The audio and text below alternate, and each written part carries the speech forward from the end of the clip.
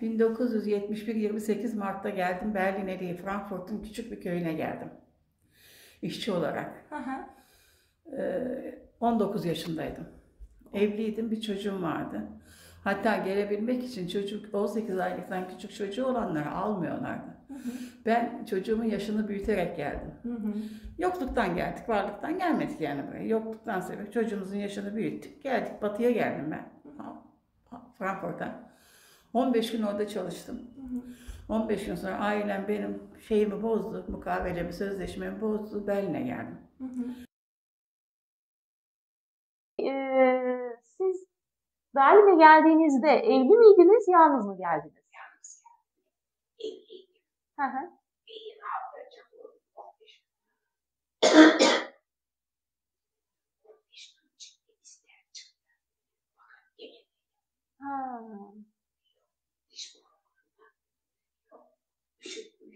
Hmm. Şudur budur.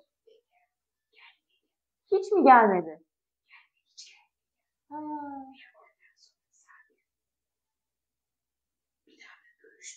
Hmm.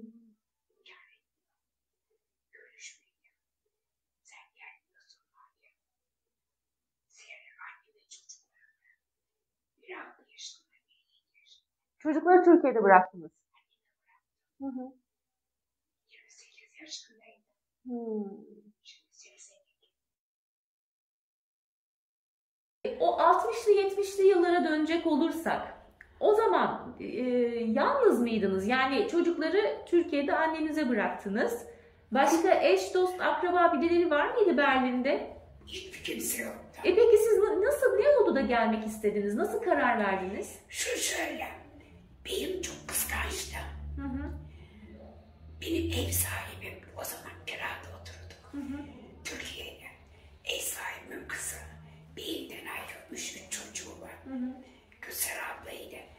Ben de Almanya'ya gidiyorum dedi. hı, İşimi yaptırdım. Münih'e gideceğim dedi. hı hı. Gel seni yazdıralım. Ben inkar etmiyorum. Benim yazılmasım yok. Okumuşluğum öyle yok. Aa, evet.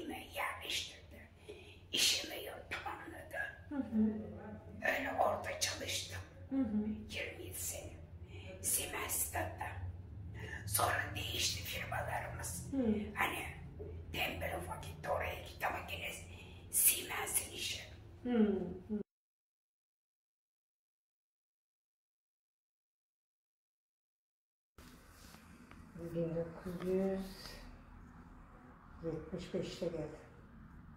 75 yılından beri kesintisiz Berlin'desiniz öyle mi? Evet. Peki e, eşinizle birlikte mi geldiniz? Yalnız mı geldiniz? Eşim geldi önce işçi olarak. Ben de iş kargısı olarak gittim. Siz çalıştınız mı peki? Çalıştım. Nerelerde çalıştınız? Temizlikte çalıştım. Otellerde çalıştım. Hayımlarda çalıştım. Çok yer değiştirdim. En son et firmasında çalıştım. Toplam kaç yıl çalıştınız Berlin'de? 22-23 yıl çalıştım. Emekli mi oldunuz sonra? Emekliymiş. Peki bu bu kadar sene boyunca çalışırken hiç dönmeyi düşündüğünüz anlar oldu mu Türkiye'ye? Biz ilk gelişimizde düşünmüştük. Hani beyim hep diyordu çocuklarım 7 yaşına girsin ben Türkiye gideceğim. Çocuklarımı orada okutacağım. Biz hep böyle düşünürdük. İşte sonra da olmadı. Çalıştık, kaldık. Kaldık gittik buralı olduk artık. Valla zor hayatlarımız oldu. Kolay olmadı. Tabii. Eşimi benden 9 ay sonra getirdim. Bir kız çocuğu oldu. Zor fabrika arasında, ev arasında koşuşturma. O şekil gitti. Zor dil bilmiyoruz. Korkuyoruz. İş yerlerinde bir Arap molalar olur. Oturmaya, keşmeye koş, şeyde hemen elimize fırça alırız ama patron bir şey diyecek, bizi işten çıkaracak, aman bir şey olacak derken öyle öyle geçti hayatımız. Molalarda bile çalışıyordunuz yani. Tabii. Çocuklarımızı okula gönderdik. Bizim Almancamız yoktu. Çocuklar okula gidiyordu. Çocukları e, o zaman yuva nedir bilmezdik. Bilmiyorduk yuvanın olduğunu. Vardı ama biz bilmiyorduk. Ondan sonra Türkiye'de kız getirdik burada çocuklara baktı 4-5 yaşına kadar kaynımın kızını. Ondan sonra okula başladılar. Ondan sonra kızı gönderdik. Ben işte çıktım. Okula başladılar. Ben çıkınca okula başladılar. İşte dedik Türkiye'de olsaydık daha hiç olmasa iyi bilirdik, iyi okullara gönderirdik, iyi eğitim görürdüler. Ne bileyim yani çok pişmanlığımız oldu çocukların tarafında. İşte onlar da 10. sınıfa kadar okudular. Çok istiyorduk okumasını. Çok istiyorduk ama okuyamadılar. İkisi de meslek de yapamadılar. Meslek yaptı yarıda bıraktılar. Öyle ha, işçi oldular. Şimdi herkes hayatını devam ediyor.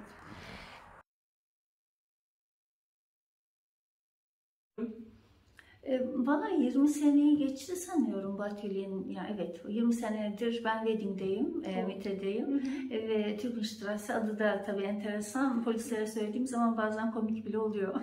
Öyle mi? Var mı öyle bir anınız mesela? Var tabii olmaz mı? ne, nasıl tepki veriyorlar? Aa Türkenstrasse böyle bir cadde var mı filan. Onlar da bilmiyor. evet, evet öyle şeyler oldu ya başıma geldi. Takım projeler yapıyoruz bir takım insanlarla. E, dolayısıyla e, yani üç gün yazıyorsam e, işte dört günde resim yapıyorum ya da işte projelerimi gerçekleştiriyorum. E, evet böyle bir şeyle git gelle geçiyor hayatım. Peki e, 20 sene oldu dediniz atölyeye geleli. Berlin'e geleli kaç sene oldu? Ben benle geleli 30 sene oldu. 30 sene. 30 sene oldu. Bayağı bir zaman. Bayağı bir zaman. Evet. Nasıl bir kararın sonunda Berlin'e geldiniz? Yani bir bilinçli bir tercih miydi, bir tesadüf müydü? Valla Berlin'e o zaman e, aslında Berlin'de bağlantılarım vardı. E, ve Türkiye'den çıkmak arzu ediyor, çıkmak istiyordum. Neden diye sorarsanız akademiyi bitirmiştim ve e, Batı e, normlarında resimleri görmeden, müzeler olmadan insan tabii bu estetikle ilgili düşüncelerini geliştiremez diye düşünüyordum. Türkiye daha o zaman kapalı toplum yapısındaydı, yavaş yavaş açılıyordu ve özel dönemi 80'lerde açıldı biliyorsunuz. Eee, beni çok zorluyordu şey o böyle monoton gri ton ve her şeyin ve herkesin aynı şeyi söylediği e, toplum yapısı. E, başka şeyler görmek, başka bir düşünceye e, ulaşmak yani başka bir düşüncenin içinde yaşamayı istedim. O yüzden şartlarımı zorladım ve e, buraya geldim. O zaman bir de küçük e, oğlum da yanındaydı ve tabii çok şey oldu, mücadeleli bir başlangıç oldu. Oğlunuzla birlikte geldiniz. Oğlumla birlikte geldim. evet. Ee, hani bir bursla mı geldiniz ya da bir... E, Valla Burs'a gelmedim. Aslında o sırada babaannem vefat etmişti. Ondan bana biraz para kalmıştı. Hmm. İşte o parayı aldım yanıma. Ondan sonra o sıradaki erkek arkadaşım da Berlin'de oturuyordu. Hmm. Ee, böyle bir şey, bir serüven, ucu ucu bilinmeyen, sonu bilinmeyen bir şeydi benim için. Yani böyle bir uçurumdan atlamak gibi bir şeydi. Tamamıyla yani spontan, insan e, impulsif yani böyle değiştirmek arzusuyla bir şeyleri parçalamaktı. Eski toplu yani eski e, yani İstanbul'da mesela büyük bir evim vardı, eşyalarım her şeyi dağıttım. Hı. Bir de buraya kitaplarımı getirdim. İşte bir de bazen bazı ufak tefek şeyleri getirdim. Hı hı. Peki Şebnem geldin şimdi Mite'ye yerleştin. Berlin'deki ilk yaşadığın semt mi Mite yoksa daha yeni mi geldin buralara? Yeni mi Miteli oldun diye? Açıkçası ben Berlin'de 2014'ten beri Berlin'de yaşıyorum. Yaklaşık 6-7 ev değiştirmişimdir. Biliyorsun Berlin'e taşınan herkesin en büyük derdi ev. Ne desem ev. E, Bir hava, iki ev. Ee, ve hep işte Mitte ya da Prenzlauer Berg'in Mitte'ye yakın taraflarında oturdum. Ve e, buranın beni tanımadığını düşünüyorum. Neden dersen Almanya'nın e, yani Hamburg'da da yaşadım daha önce. Diğer yerlerde de e, uzun ve kısa dönemli e, yaşama imkanım oldu. Almanya'nın aslında baskın bir kültürü var diğer şehirlerde olan. Berlin'de bu kültür yok. Berlin tamamen özgür, kurtarılmış bölge mi diyeyim? Yani Ne pozitif- şahsına münhasır derler. Kesinlikle, kesinlikle. Aynen kelime yani aradığımız terim o aslında. Çünkü yani bunu ne pozitif ne negatif anlamda söylüyorum. Tamamen bir objektif bir değerlendirme. Berlin çok kendine özgü bir şehir. Kültür olarak, yaşam tarzı olarak. Ve buradaki her bölgenin de bence kendine özel bir kültürü var. E, bu kültürler arasında en çok sevdiğim şey Mitte ve Prenzlauer Berg. Niye dersen e, biraz daha işte göçmen ama bu şey e, göçmen derken işte expat olarak adlandırılan işte e, kalifiye göçmen. E, işte genelde bizim yaşlarımızda işte eğitimli. Ondan sonra e, dün işte belli zevkleri olan işte dünyayı gezmek yeni şeyler öğrenmek vesaire yeni kültürler öğrenmek dışarıya biraz daha dışarıya dönük insanların olduğu bir yer benim için. Yani böyle bir şey ifade ediyor. Dolayısıyla bu taraflarda olmayı seviyorum. Zamanımı daha çok buralarda geçiriyorum. Tabii farklı yerlere de gidiyorum. Kreuzberg'in e, çok özel yanı var. Friedrichshain, ondan sonra Neukölln. Bunların hepsi çok ayrı ama Evet. hep çok farklı kültürleri olan yerler. Evet. E, Mitte'nin kültürü bana çok uygun geliyor çünkü bence çok e, kozmopolit bir yer. Ve kozmopolit olmasına rağmen İstanbul ya da Londra gibi böyle insanların telaş içinde koşturarak işte işe 5 dakika geç kaldım diye birbirlerini iteklediği bir yer değil. Evet. Ee, yani rahat, kozmopolit, e, ondan sonra multikulti diyorlar zaten biliyorsun. Ee, ondan sonra ve güzel bir yer. Estetik olarak da hoşuma gidiyor. O yüzden e, ben meteliyim diyebilirim rahatça. Peki şu ev bulma mevzusuna geri dönecek Evet. olursak. Ee, hiç göçmen olduğun için ev bulamadığın ya da Evet. sana ev vermediklerini düşündüğün hissine kapıldın mı? Evet, kesinlikle. Yani tam sayıyı bilmiyorum ama 8 ay içerisinde en az 500 eve başvurmuşumdur. Bunlardan 6 tanesinden cevap geldi. Gelin evi görün diye. Evet. Yok. 6 tanesinden olumlu cevap geldi. 3 tanesinden tamam kontrat imzalayabilirsiniz dendi. Ben bir tanesini seçtim. Bu tabii böyle çok uzun bir dönem ama o 8 ayın ilk 3 ayı zaten 3 aylık maaş bodrum olmadığı için tabii buradaki ev bulma prosedürleri var. Şimdi Tabii. 3 aylık maaş ona dair Tabii doğru, süreç. doğru. İlk 3 ay zaten o çöp. Hani onu saymamak gerekiyor. Evet. Aslında o e, dönem 5 aydı. Evet. Ee, peki nasıl aştın o zaman o zorluğu? Yani hani göçmen olmana rağmen ev e, bulma işini nasıl becerdin, nasıl başardın? Bu son yani bu, em, bu baktığım ev ve şu anda tuttuğum ev de aynı şekilde em, iş yerime çok yakındı. Şu anda ofisim değişti. E, iş yerime çok yakındı o zaman ve em, normalde ben em, emlakçılarla konuşmuyordum. Sadece eve bakıyordum. Yanımda e, kendi dokümanlarımı, bu arada CV'm de dahil olmak üzere böyle bir yaklaşık 42 sayfalık bir dosya veriyordum yani başvuru dosyası. Aa, Ne kadar artık çaresizim düşünün yani hani. Ee, Bunu veriyordum ve konuşmuyordum. Sadece işte gidiyordum. Bu sefer dedim ki konuşacağım. Konuşmamamın sebebi de şu. e, Almancam her ne kadar böyle C1 seviyesini bitirip de buraya gelmiş olsam da koronanın getirdiği bir e, kapanmayla birlikte sosyalleşemedim. Dil e, nankör. Kullanmadığınız zaman köreliyor kesinlikle. Hele Almanca. Ve e, benim e, em, international ofiste çalışıyorum. Dolayısıyla bütün projelerim benim, proje dillerim her şey İngilizce. İş arkadaşlarımla da İngilizce konuşuyorum ki biz Birleşmiş Milletler gibiyiz. Her memleketten insan var resmen. Mükemmel bir ortam kesinlikle. Böyle olduktan sonra ben unuttum Almanca konuşmayı. ya da Almancam köreldi öyle söyleyelim. Bazı Almanlar özellikle bunu emlakçılar genelinde söyleyebileceğim. Çünkü birebir yüzleştiğim durumlardan bir tanesi buydu. Artikele tas yaptığım zaman vesaire benim anlıyordu ve seçmiyordu diye düşünüyorum evet. ben. Evet. Dolayısıyla ben bir küstüm Almanca konuşmaya. Almanlarla özellikle Almanca konuşmaya. E, fakat bu e, emlakçıda bir böyle tamam dedim ya yeter artık. Ben de şeytanın bacağını kıracağım bu sefer. Gittim kadının yanına. Dedim ki bakın benim ofisim şurada. Şimdi işte saat kaçtı bilmiyorum ama buradan çıkacağım ve saat 9'daki toplantıma yetişeceğim. Ben bu evi tutmak istiyorum. Yalnız başıma yaşıyorum. İşte evcil hayvanım yok, carçuk bu tarz şeyler. Genel bilgiler. E, lütfen bu evi bana verin dedim. Çok mutlu olacağım dedim.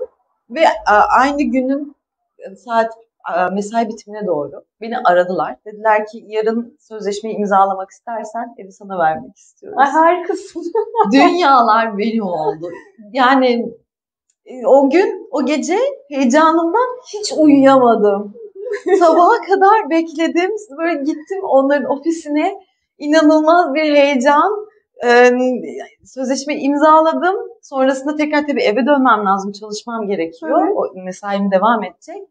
O tabii ki heyecan, bütün o duygu yoğunluğu vesaire derken ben böyle bilgisayarın başında uyuyakaldım yorgunluktan ve bütün gece uyuyamamaktan ama inanılmaz böyle başardım duygularından bir tanesiydi. Berlin'de öyle çok duygum var başardım dediğim. Hı hı. Bu da bir tanesiydi. Diğerleri çok basit şeyler ama mesela Ikea Pax dolabı kurmak gibi mesela o benim için gerçekten Everest.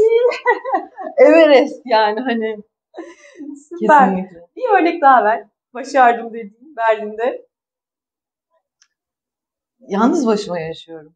Ve evi döndürüyorum. Ve um, çok şükür kimseye muhtaç değilim. Kimseye bir ihtiyaç duymuyorum. Tabii ilk zamanlar illaki oluyor insan. Hani yabancısın, sen de yabancısın. Hı hı. Onlar da seni yabancı görüyor, Avusturya görüyor. Sen onları Alman görüyorsun. Bir, illaki bir şeyler oluyor. Hı hı. Ama tanıdıkça insan birbirine alışıyorsun tabii ki. Hı hı. Güzel şey yapayım. Ben bu yine oturduğum eve geldim. Yaşlılar vardı hep oturduğum binada. Bayağı şey yapıyorlardı. Ama sonradan onlar vefat etti falan gittiler. Gençler geldi. Onlardan çok iyi diyalog ettik şimdi. Öyle hmm. aile gibi yani giderken Bak komşum Alman'ın anahtarı bende durur şimdi. Hmm. Özellikle sadece Berlin'e başvurdum. Yani bu, burası dışında başka bir yer belki bir Duisburg'a falan birkaç başvuru yapmış olabilirim ama bütün şeritedeki işte buradaki enstitülerdeki hocaları hep seçtim, aradım falan filan. Yani sadece buraya yönelik aslında geldi. Çünkü bunun iki sebebi var aslında. Birincisi dediğim gibi başka yerlerde rahat edemedim. Buranın çok böyle e, multicultural olması çok hoşuma gitti. Çok fazla değişik insan olması. İkincisi çok daha özgür hissettirmesi hoşuma gitti. Ve böyle şey bir şehir de değil. Hani tamam Avrupa burası Almanya'nın başkenti ama asla kasıntı bir yer değil. Hani böyle maddi olarak da insanı çok zorlayacak bir şey değil. Benim Berlin'de her zaman dikkatimi çeken şey şu oldu. Yani çıkıp dışarıda bir yemek yemek mesela diğer Avrupa şehirlerine çok pahalıdır. O yüzden insanlar hep evlerinde yerler. Bu da sosyal hayatı kısıtlar. Ya da Londra'da insanlar bilmem 7. bölgede yaşarlar ve zaten gidip gelemezler. Dolayısıyla bu sosyal hayatı kısıtlar. Ama Berlin'in en göbeğinde e, yani maddi durumuna ba- bağlı olmadan herkes bu Berlin'deki hayata eşit deneyimleyebiliyor ve bence bu zaten her şeyi yapan bu. Yani değiştiren kimliğini bu. Ve belki de şu anda tehdit altında olan da bu Berlin açısından.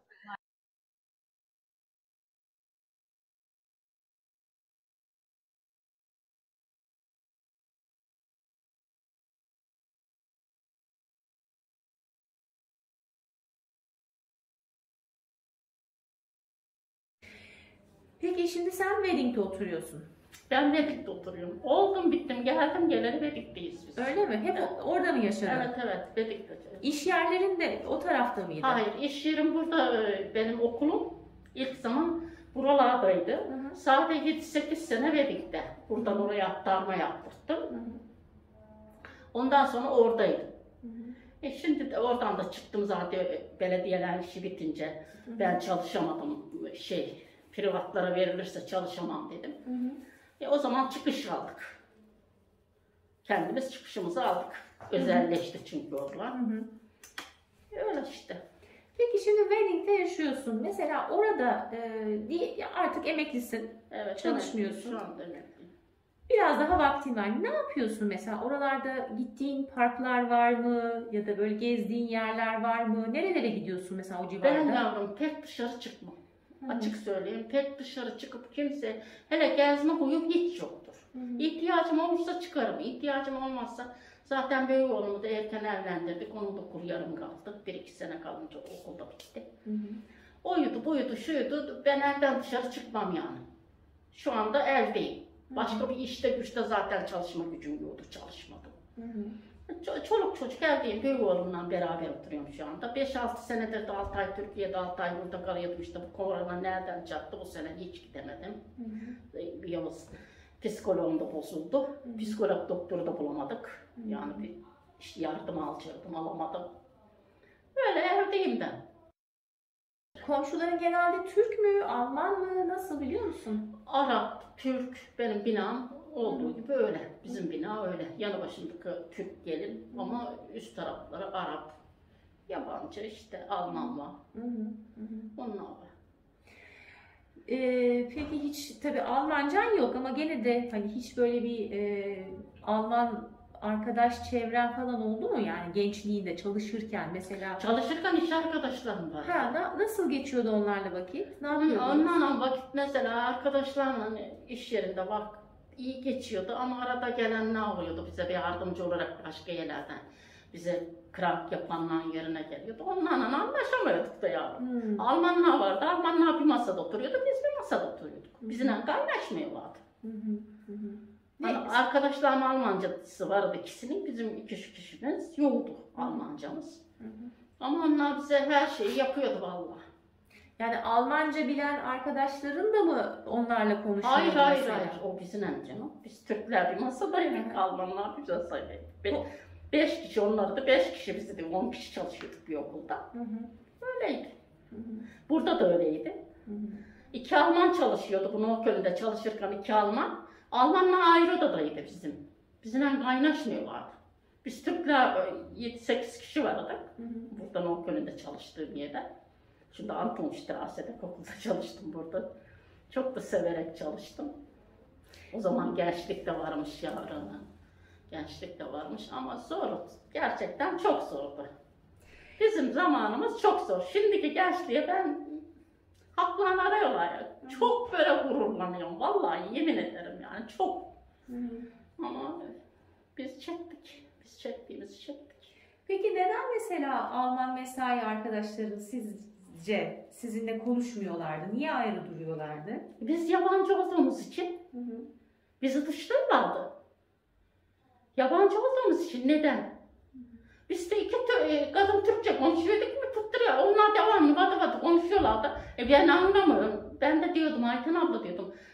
Yeter gal diyordum. Onları dinleyip durmayacağız. Biraz da biz konuşalım diyordum. Pauzeye falan geldiğimiz zaman. Bize kızıyorlardı Türkçe konuşmamız. Türkçe konuşuyorsunuz diye kızıyorlardı. E, ama Almanca bilmiyoruz. Ne yapalım? E madem öğretin bizi de Almanca uyumlaşalım. Biz uyum sağlıyorduk ama onlar sağlamıyordu. Biz onlardan çok çektik yavrum. Şimdi Almanlar bizi çok dışladı. Ama mesela o zaman geldiğinizde e, böyle Almanca kursu düzenlemiş olsalardı, size anlatsalardı Ya, değil mi? Tabii. O zaman daha farklı olurdu belki. Tabii canım daha farklı oldu. Biliyor musun bizim Türk milletimiz cana yakındır. Uyumludur.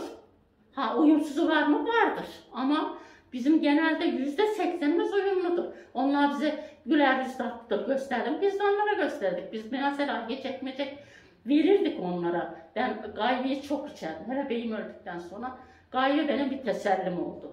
Ben onlara gayve de ikram ediyordum.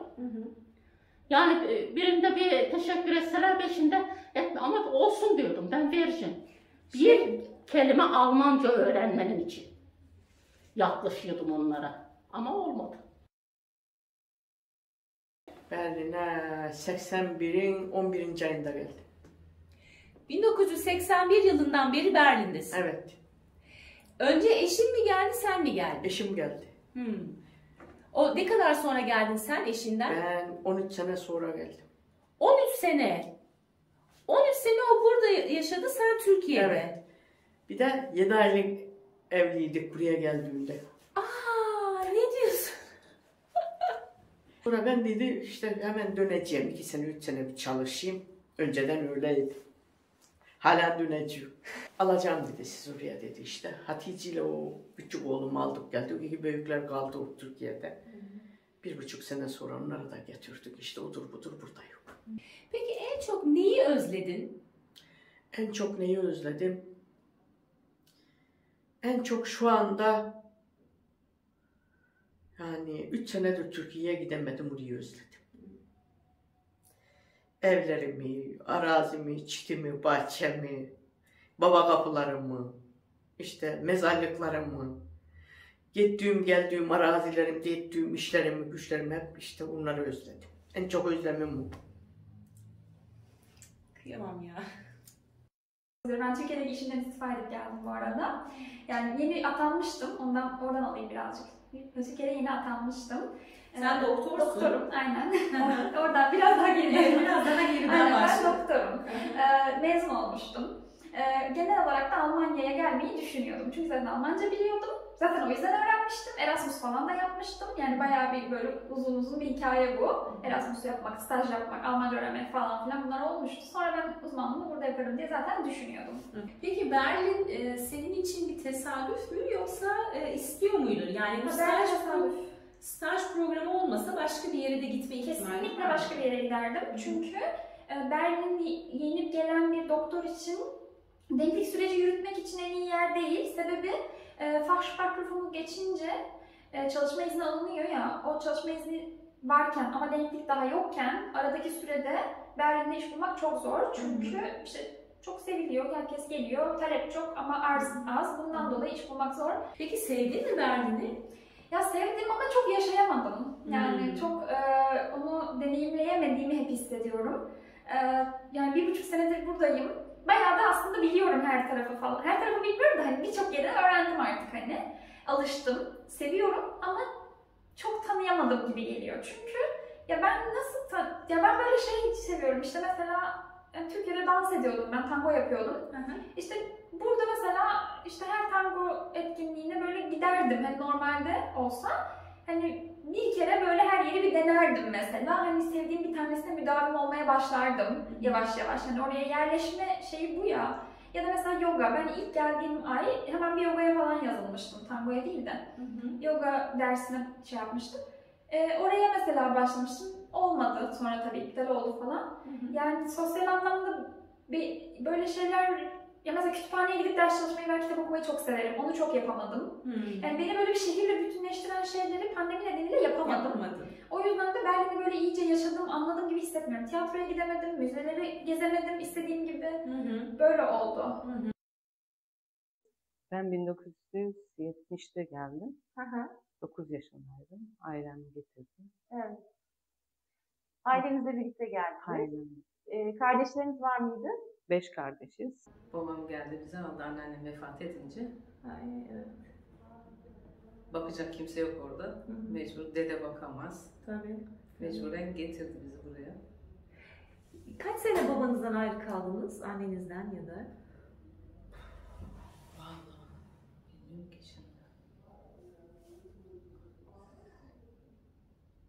3 sene falan babamdan kaldım herhalde. Bir 6-7 ayda herhalde annemden. Hı. E, çok zor değil miydi? Küçücük çocuk siz her sene zor onları özlemle beklerdiniz. Evet. Zor, çok zor. Aileden, anne babadan ayrılmak. Tabii dede, anneanne onlar da iyi baktılar bize ama anne babanın yerini tutmaz. Tabii.